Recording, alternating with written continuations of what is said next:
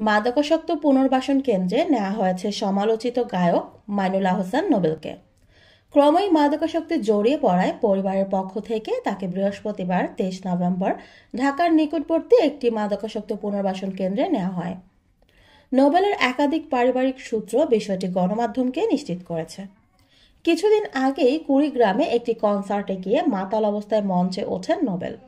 সেখানে জড়ানো কণ্ঠে গান গাইতে শুরু করলে দর্শক শ্রোতারা পানির বোতল ছুটতে শুরু করে। বিষয়টি নিয়ে দেশব্যাপী তোলপাল হয়।